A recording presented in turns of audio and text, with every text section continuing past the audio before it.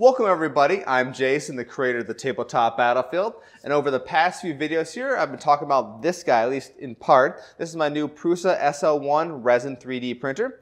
Now, the one thing I didn't quite mention in detail is that it took about a month in order for me to get this printer dialed in to where I can get reliable, consistent prints without failures out of it. So my hope today is that this video will keep you from having that happen to you, and you get your printer running in maybe a few hours.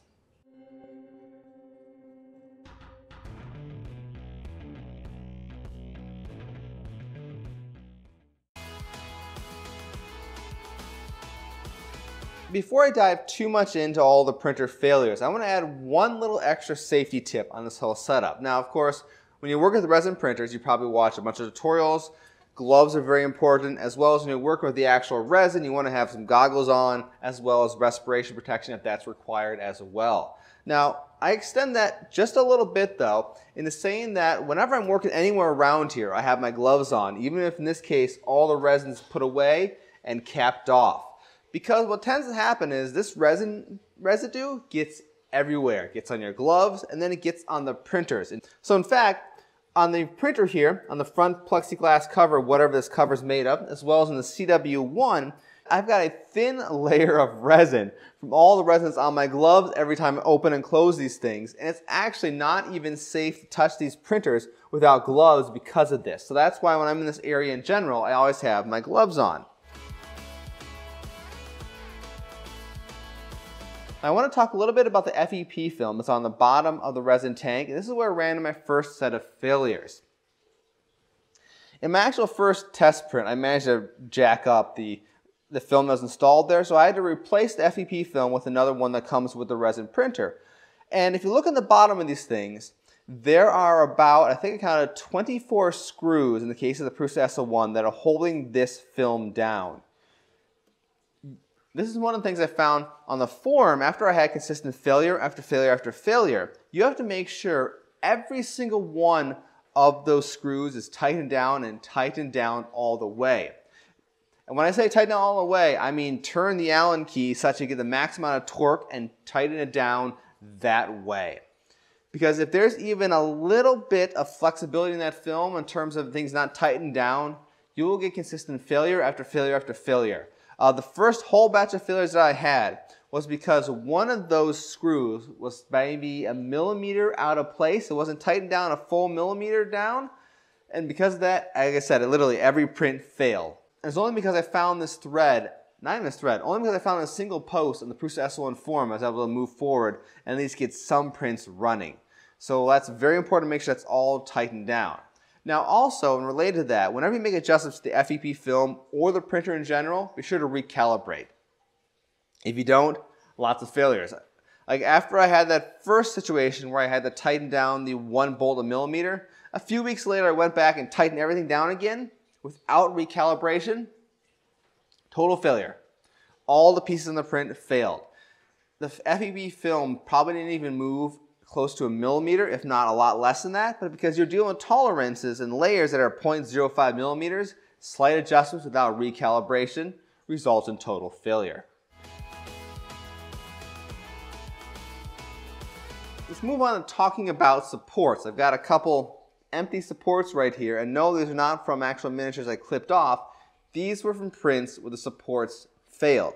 Now, primarily I've been printing off game miniatures, in particular Legends of Kalidasia miniatures, and you can learn more about that at kalidasia.com. Link in the show notes. That's my um, Space Combat Miniatures game. And what I found with larger miniatures, like what the Legends of Kalidasia miniatures are, is the default support settings are not strong enough for that kind of a thing. The diameter of the very tips of the supports are just not enough to get a good enough grip on decent sized miniatures to hold them in place. And what would happen is either the part of the miniature or the entire miniature would actually fall off the supports and the print would fail. And this was one of those kind of inconsistent things where I print off four of the same miniature, three might print fine, one might fail. I went into the Prusa slicer, I upped the size of the supports. You can see a screenshot of that right now. It's what I changes for I made for the smaller Kalidasia miniatures and for some of the larger ones, we're talking Destroyer class all the way up to the new Ionia class. Follow me on Instagram if you want to see what that one was. No, just kidding. It's in the video too.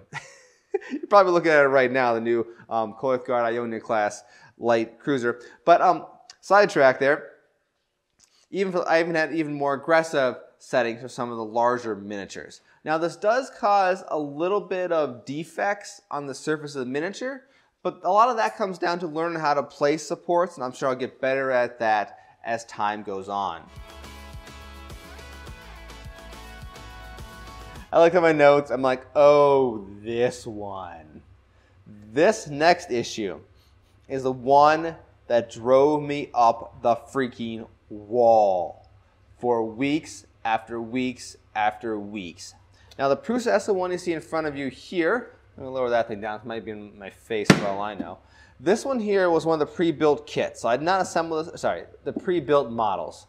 I did not assemble this myself. I got assembled at the factory and is mailed to me in its entirety.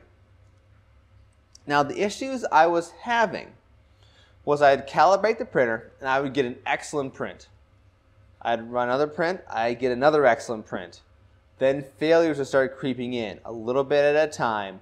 It'd be one piece would fall off the print bed, two pieces would fall off the print bed. At one point, I printed off 18 game tokens, which for some reason look like javelin missiles from the Ergol Empire. I wonder what I'm working on there. And only six of the 18 game tokens remained attached to the printer. Now, there's all sorts of little troubleshooting you can do by following the instructions of this printer that come with it or will come online, all that kind of fun stuff. But this issue was a little bit trickier because all those things I tried and the failures kept happening after several prints. So the first I'd recalibrate, prints would succeed, then failures would start creeping in again and again and again. It wasn't the size of the miniature. First time I printed the Ionia, her main hull came out fine, which is huge. Her main gun turret, which is a lot smaller, failed.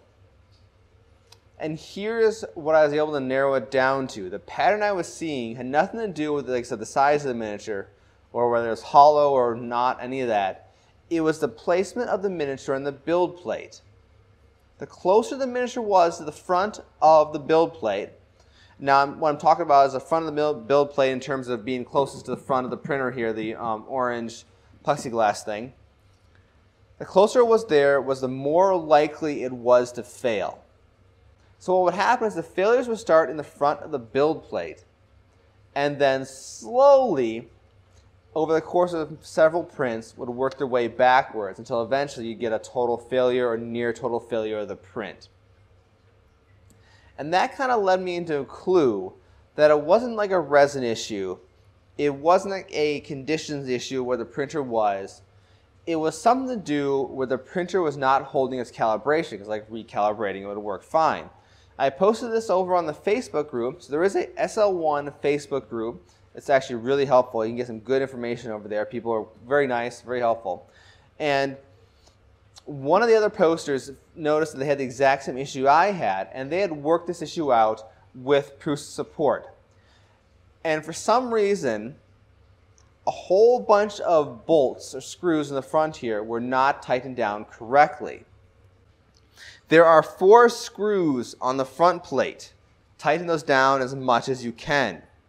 Under the resin tank, there's a whole bunch of screws here. The whole, I think it's the LCD panel. I'm not entirely sure, but there's a whole bunch of screws under the resin tank. Tighten those down as much as you can. On the build plate, there's four screws that attach the actual build plate surface and kind of clamp it in half so that you can hang it up here on the top of the printer. Tighten those four screws down as much as you possibly can.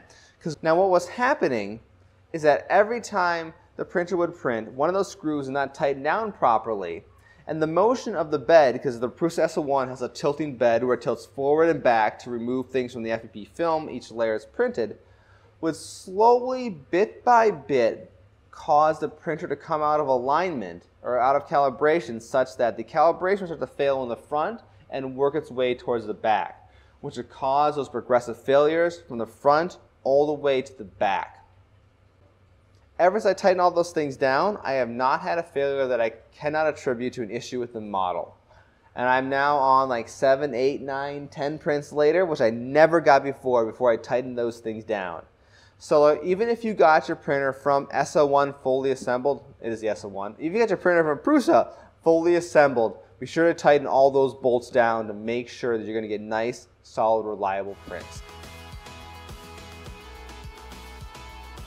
Now here's my last and final tip for you guys tonight.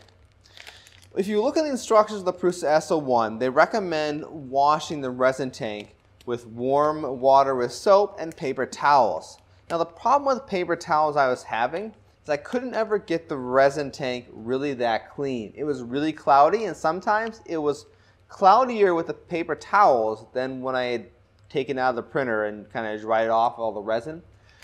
Another suggestion I found online, I think it was on either the Facebook group or one of the forums, was to use some sort of all-purpose microfly, all-purpose microfiber cloth to clean out the resin tank when you wash it and when you remove the dry up the little bit of resin that's left over after you empty the resin back into the bottles. And these things work a heck of a lot better. Uh, when I run the water over the tank and clean it out that way, the FEP film is cleaner than when I use paper towels and these things work really, really well for sopping up the last of the resin when it's left over, like I said, after you've poured the resin back into the bottles. Uh, this particular pack I got for uh, $10. There's 24 in here, and I picked this up from Home Depot here in the United States, but I imagine many stores will carry something along these lines. Now, these are in theory washable in like a washing machine, but of course, once they're contaminated with resin, they're kind of uh, toxic. Um, you probably can't toss these things, you know, in a washing machine without taking off some, you know, well, at least pushing the boundaries of environmental regulations, etc. Blah blah blah. Don't do it. Um, so I haven't figured out what's the best way to clean them just quite yet.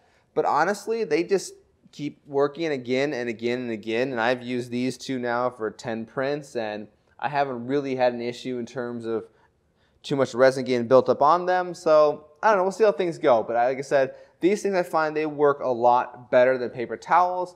And some paper towels, according to Prusa, can actually scratch FEP film and damage it a lot faster than something like this probably could.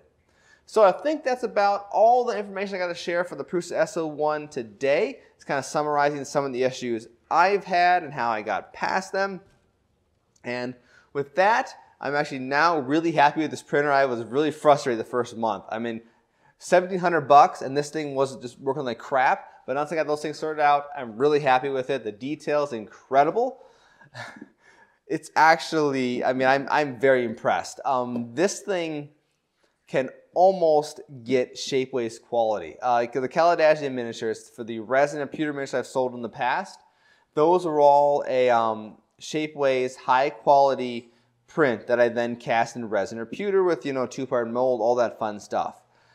Out of the printer, I can get prints that are almost as high quality as the original master, and because the fact that they lack the defects that inherently get in with resin and pewter casting, they're higher quality than the resin and pewter miniatures I sell. And I'm pretty sure I'm going to slowly, bit by bit here, over the next few months, if year, two years, whatever it may be, convert the entire Kalidasian miniature line over to resin 3D prints. Um, I'll talk more about that in a future video in terms of the economics of that. The quick off the top of my head calculation say yes, I can actually sell resin 3D prints and still make a good profit. It's similar to what I can get with um, resin and pewter miniatures, but I'll run through those numbers sometime in the not too distant future. But thank you guys all for watching. Once again, I'm Jason, the creator of the Tabletop Battlefield. If you want to see more videos about resin printing, well, subscribe to the video. No, subscribe to the YouTube channel. You know what I mean. Like, just, just you, you, everybody, if you watch YouTube, everybody says it time and time again. And, you know, hit the like button or smash the like button. Why does everyone say smash the like button? Seriously, everybody says that. Smash the like button. It's, it's, it just seems like that's like the common thing to say. Eh, turn on notifications, all that fun stuff. But anyway, until next time, have a great week.